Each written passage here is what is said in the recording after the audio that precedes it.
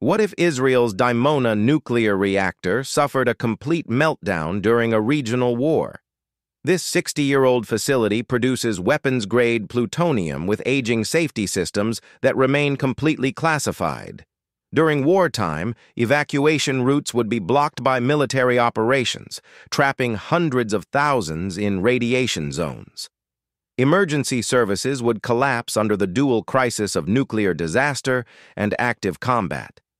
But the real horror would come from the desert sandstorms.